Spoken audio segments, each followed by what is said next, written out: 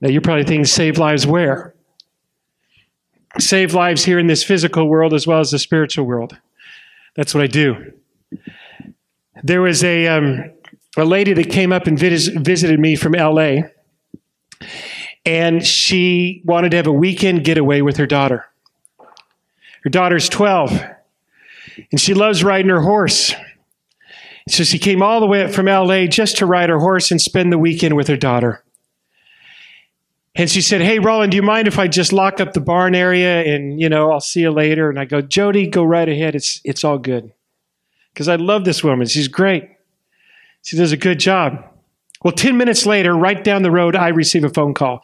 Roland, I don't know what to do, but I, I, I, I can't get up. What do you mean you can't get up? Well, I don't want to bother you, but, and I know you're really busy, but I, I can't get up. Jody, have you tried to get up before? Yeah, I tried to get up and I just fell down again. Jody, do not get up. I'm coming around. Really, you're 10 minutes away. I don't want, want to make Jody. It's no problem. Really. I'm coming back around for you. Okay, I'll wait. So I come driving up to the barn area, and it's about 10 minutes in, and there she is laying on her side, and her head cocked off. And I'm thinking, oh my goodness, do I call 911? Now, I teach CPR, first aid, and all that life saving rescue stuff to the police academy, to Oregon Youth Authority, and all the Salem Keizer districts. That's who I teach. And I'm thinking, now, wait a minute. You're only supposed to call 911 if the place is unsafe. Well, the place was safe. Were you only supposed to call 911 if the person is conscious or unconscious, and she's conscious? So I don't need to call. The third one, do I have the tools to deal with the situation? I'm thinking, yes, I'm a trainer. I have the tools. So I go walking up to Jody and I go, Jody, hey, I'm first aid trained. I'm a first, I'm a first responder. you are. I didn't know you ever did that. I just thought you did horses. I no, I'm a first, I'm a first responder. Oh, thank goodness. I don't know why I can't get up, but I can't get up. Jody, you mind if I check? Let me check the backside, see if there's any blood or anything that's going on. We just need to make sure that you're okay before I call 911. So, right there, I had to do a thing called DOTS. It's a head to toe assessment. DOTS. Today, you're studying TOLDOT. I'm actually doing DOT with a plural. DOTS. So, you're going to remember TOLDOT or TOLDOTS off of DOTS. And we do a head to toe assessment and I'm going to check Jody out from head to toe before I make that 911 call. So I'm checking for things called deformity, open wound, tenderness, ow, swelling, oh my, you're getting bigger. What am I checking for? D is for? O is for? T is for? Ow. S is for? Oh my word, you're getting bigger. Jody, do you mind if I check your head? Yeah, check the head. I can bend it. Okay, that's good. Jody, can you check? Can I check your eyes? what, With my fingers. He says, You only have one finger. What are you talking about, stupid? I go, Good, you can see my one finger. Good for you. Joe, can I, can I check your ears? Can I check your collarbones? Can I check your shoulder blade? Can I check your rib cage, your abdomen, your hip? Ow! Don't touch my hip. Oh, you're tender there, aren't you? Can I check your thigh? Oh, ooh, that hurts. Don't touch that either. Your knee, your calf. And I'm thinking to myself, oh my goodness. And she starts shaking like this and she's starting to go into shock. Now, shock means we have to assess what's going on in the situation. So I look to her little girl and I say, I want you to go get a what? A horse? Yeah, because I'm at a barn. So let's go get a horse blanket. Do I want one, two, or three? Three, thanks for paying attention to the person on the ground because she had her head cocked like this and her leg was cocked over the other leg and she's starting to shiver. So I cover up with one and I fold up a blanket, stick it under her head because he said she could move it and I put one under. Now, most of you guys know for chakra we're supposed to elevate the legs. Should I elevate her legs? Yes or no?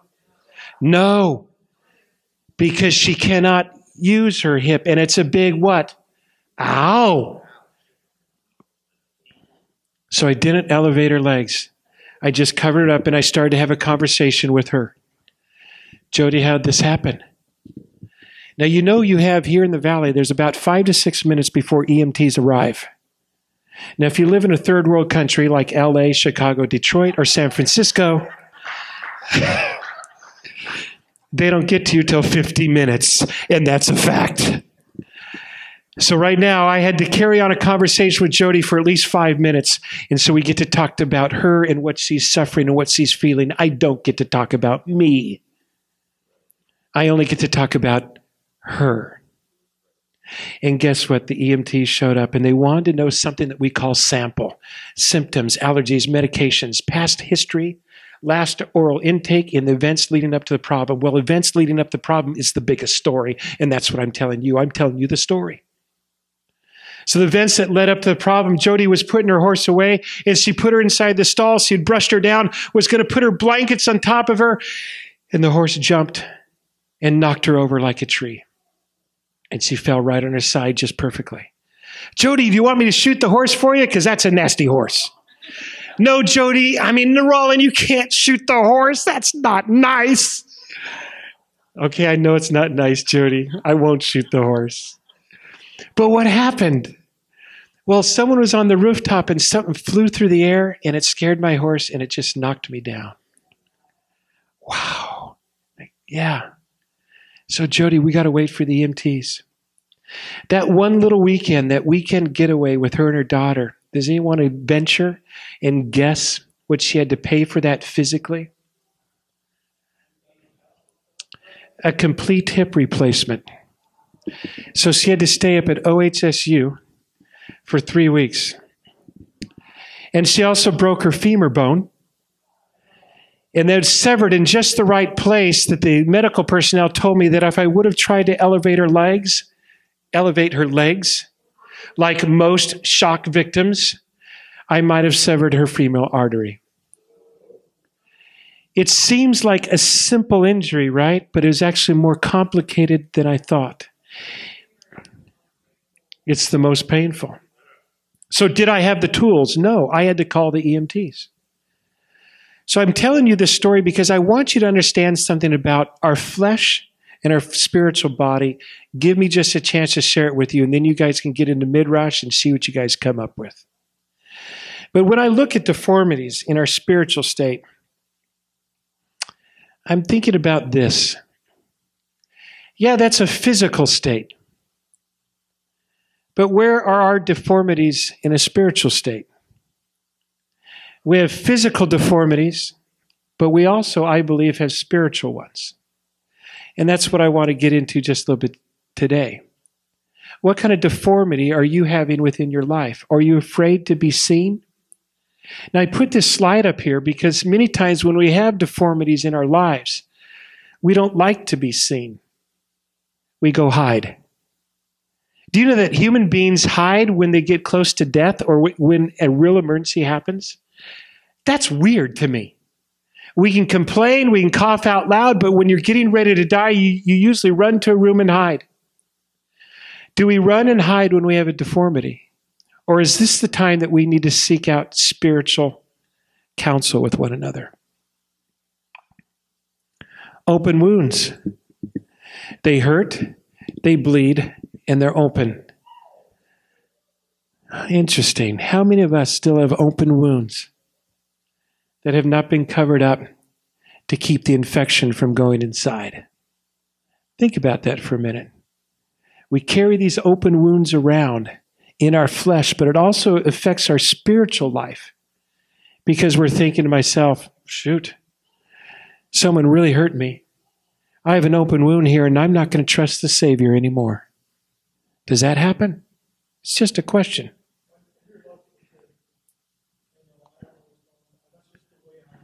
Yeah, it's just the way I am. But it's maybe, yeah, it is an open wound.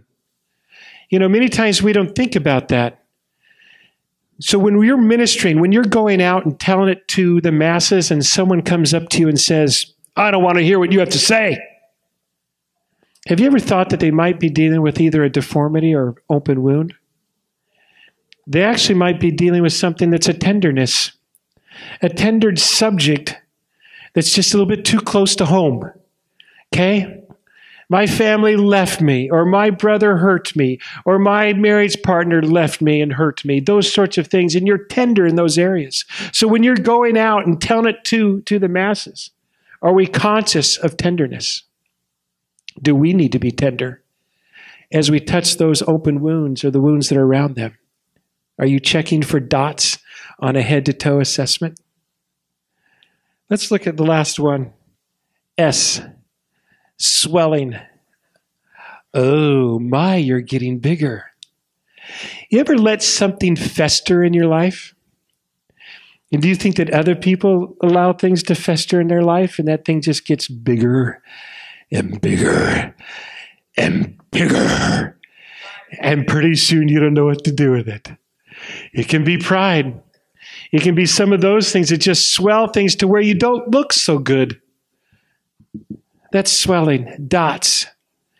Now, there's a couple things here that I think that get in our way. If you got your Bibles, I want you to open them up because I'm going to go grab mine.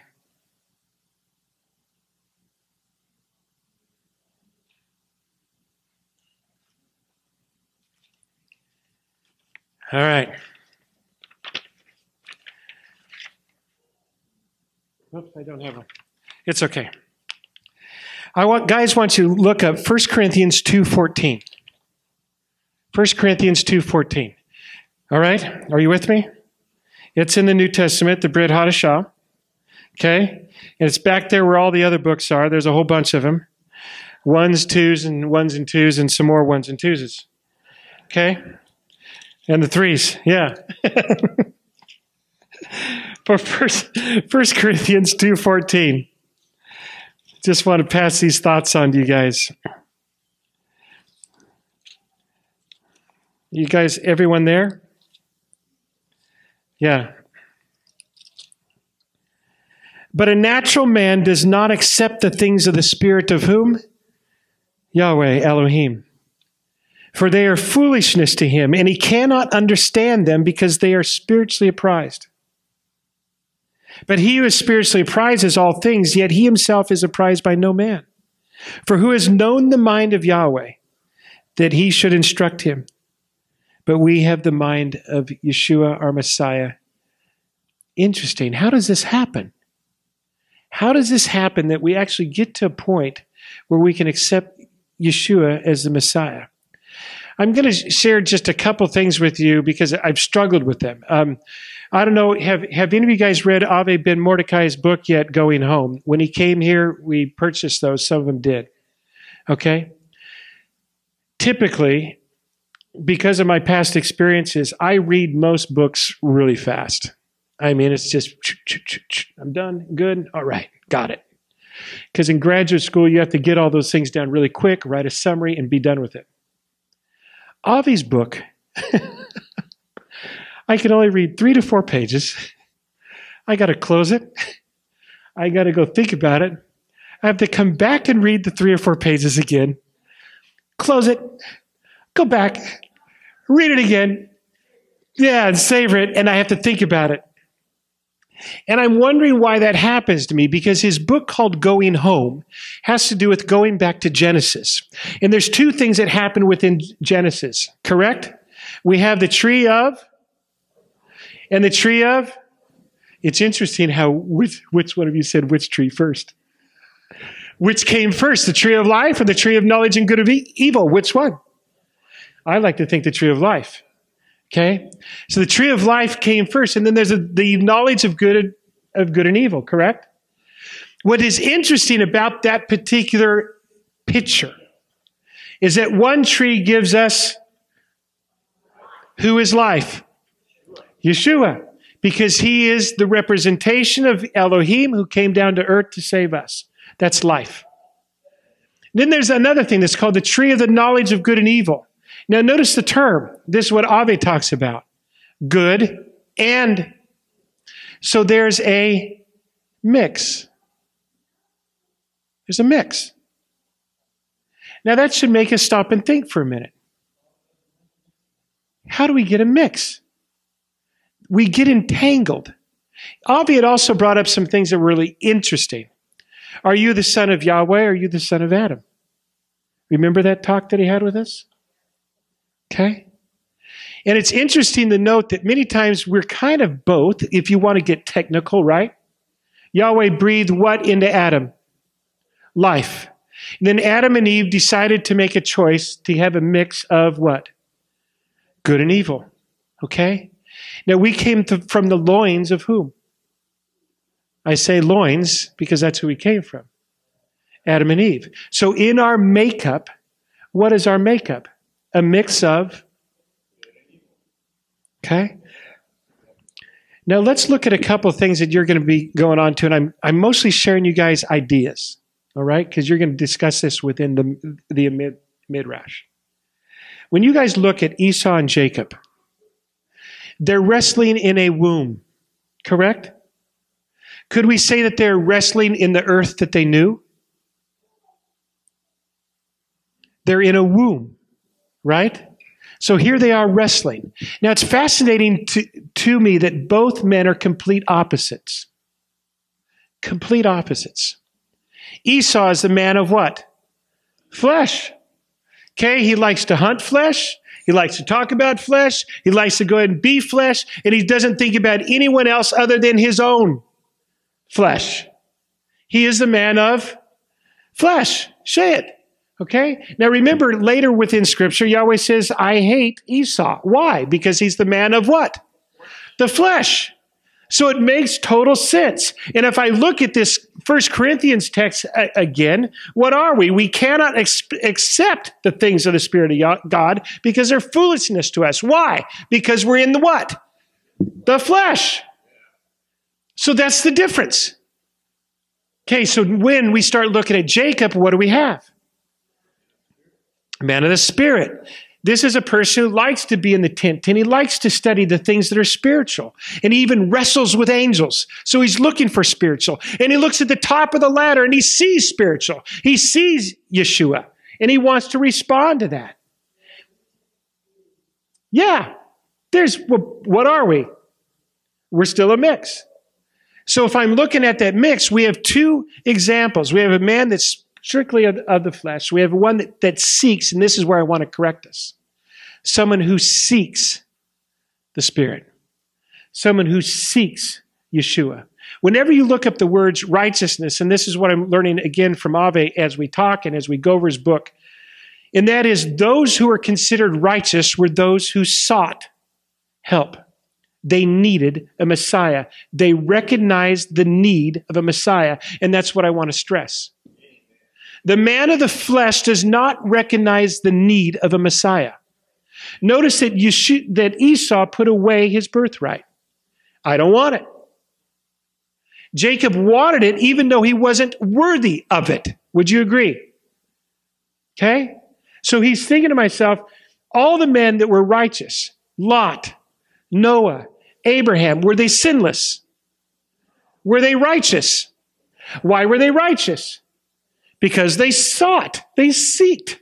Okay? When David was going, I, am a, he's a man after God's own heart. In Hebrew, what does that mean? Running after God's heart, Yahweh's heart. He's seeking the heart, pressing on.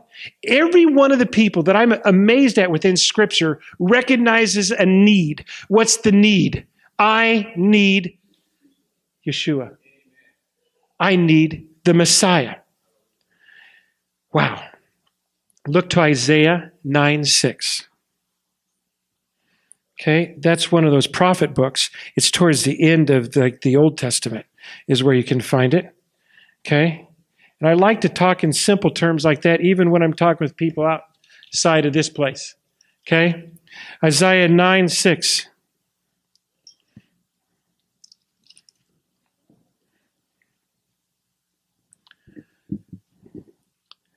For a child will be born to us, a son will be given to us, and the government will rest on his shoulders, and his name will be called what? Wonderful, Counselor, Almighty. For unto us a child is born, unto us a son is given, unto us a son is given, and the government shall be upon his shoulders. You guys don't know that song?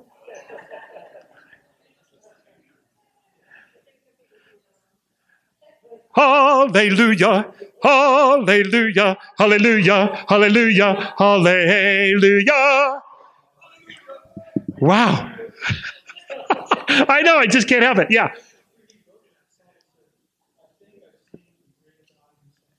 Right? Yes. It's powerful. Look at what you see in this text. Now, there are some people that necessarily believe. Now, we have a lot of discussion on who is the Messiah. We have a lot of discussion. Now, catch on to this phrase first. Was he a man of flesh who became God, or was he God who became flesh? Notice, even within Scripture, one of the greatest prophets of all, in fact, he's termed as the greatest prophet of all. Who was he? Moses, Moshe right? He even offered himself up to Yahweh and said, Take me instead. Okay? What did Yahweh say? Not going to take you. Why? Because you're a man of what? Say it. Flesh.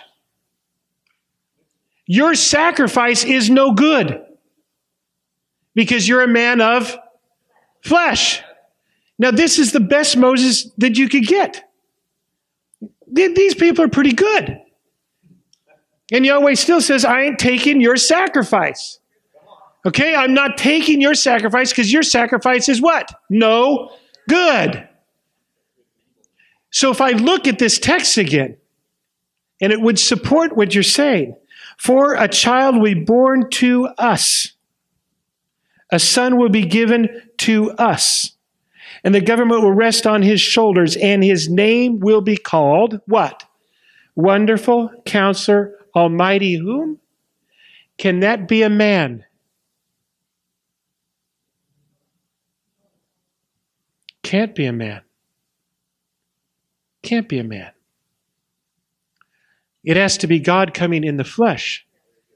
It has to be a perfect sacrifice, the only one who can stop the entanglement of two trees the only one who can actually go into the pit of hell and rescue you with the keys and fight everything in the spiritual life. You have two universes. We have this earth that we live in, and we have a spiritual life in the heavenlies. How do we know that those two are separate? Do you remember Elisha? He had a prophet. He had a young prophet with him, and he says, I'm going to open up your eyes so you can see what? The mighty angels surrounding this city. Do you remember that? Okay? And even Yeshua said, if you would open your eyes, you would see me. And they couldn't see him. So when I look back at that text in 1 Corinthians, do you guys have it again? Let's look at it again because we're going to stay really simple. 1 Corinthians 2 14. Because I want you to yell it to the masses, just like that last song that we were singing. But a natural man does not accept the things of the Spirit of God how do we become a spiritual man? That's the question. How do you become a spiritual man? By seeking. Seek ye first, seek ye first, and the kingdom of Yah, right? And his righteousness, and all these things shall be added unto you. Alleluia, alleluia. Remember those? It makes sense, right? So if I seek him, and I know that there is only one God that can untangle the mess, and that's Yeshua, then I understand that I need Yeshua in my life, in my heart to change my old man to become a new man. Does that happen overnight? How long have you been in, in generation with Adam? How long? A long, long time. And so as you put Yeshua on and he starts to change your heart, some of us, we go leaping and, jo- and, jumping for joy. But some of us, we've been entangled for a long time. Therefore, we need to put on dots and do a head to toe assessment. What's the deformity? What's the open wound? What's the tenderness? Ow, and my swelling, you're getting big. So if I'm looking at people and I'm sharing, go on and tell it from the mountains. Go on and tell it to the masses. We have got to come to the conclusion that there is only one Messiah. And he's not a man who became holy. It is a God who is holy and dwelt in flesh so that he could conquer and save us from our sin. That's the only way that we can be saved. When you guys look at Hosea today, and you might, because that's part of your Haftorah, ask yourself some questions. Who is the lily of the valley? Who is it that sprouts? Who is it that does those things and who allows those things to happen? Can a man actually do that? When the term Israel is being used, where was that first used? To Jacob. Who did Jacob re- wrestle with? He wrestled with that spiritual side, just like Esau and Jacob in the womb. They're wrestling. You guys have, and I have, two things that we want to wrestle with our flesh and our spiritual man. Our flesh and our spiritual man. This is why Paul goes on to even say things like, Why do I do the things that I do? Because he's still wrestling with his flesh. Okay? Therefore, we need the spiritual man. How do we find the spiritual man? Look at what Jacob did to find that. He would not let the angel of Yahweh go. Not only did he seek him, but he held on. He didn't give up. He held on. And then he looked into the heavenlies, and there he was looking down at him and saying, Here's my portal to you. I'm coming down to you. So the question is, how often do we let go? Do we let go? Why do we let go? And do you claim the name of Israel? Israel, in my mind, is not a place, a thing. It's an attitude. Jacob. Every time I see that word, I put in Jacob. And then I remember that one thing. He wrestled and he didn't let go. And he sought and he fought his flesh because his flesh looked like garbage. Like all those things that I just showed you. Deformities. Look at them again. That's us in our flesh. We're deformed. We have open wounds of hurt that we haven't let be healed. We have tenderness, things that get to us, and so therefore we put each other aside and we don't love each other. We have swelling because we're all strung out with pride and things that we think is correct within Scripture. And guess what? We will be set straight when Yeshua shows up. Yeah. So, the question I have for you guys to do today is how do you move from physical to spiritual? Or can we even do that? So, as you go through the Midrash, I ask you to look for those things. For to me, that's the general theme that's there. How do we do this? How can we move from our physical needs and wants and actually move to that spiritual side that Yahweh's just waiting to do for us? By covering us with the robe of righteousness through Jesus, Yeshua, our Messiah, who's willing to put that robe around you and just cover you. Hallelujah. Hallelujah. That we have that kind of message. Are you shouting it from the mountains? Are you singing it to the masses? Are you giving your testimony like what we just did? That's my question. How do we change this picture? So, you guys be super blessed. Yeah, you got questions? Go ahead. Yeah.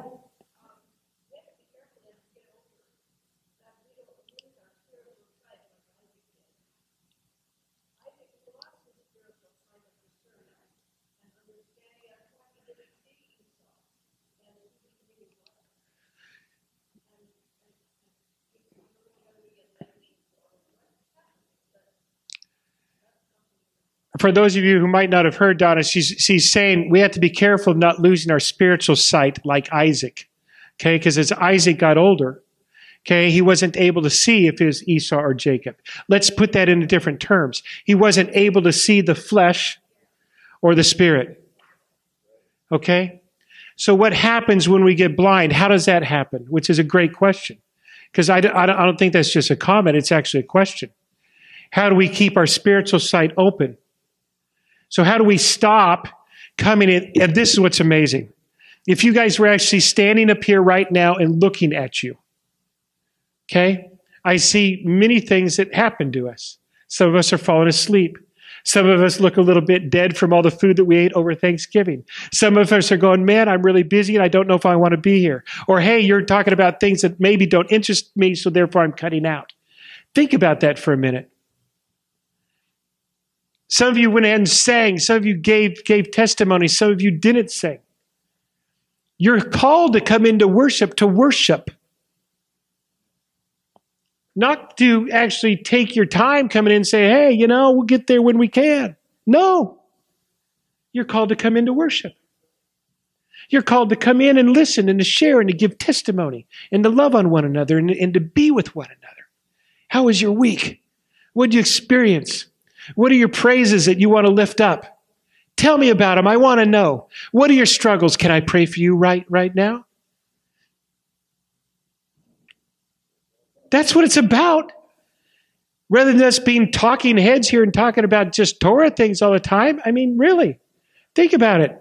It's good to talk Torah because that strengthens you, gives you encouragement. I'm not knocking that. I'm just asking for us to think about some of those other common things, like, how are you doing?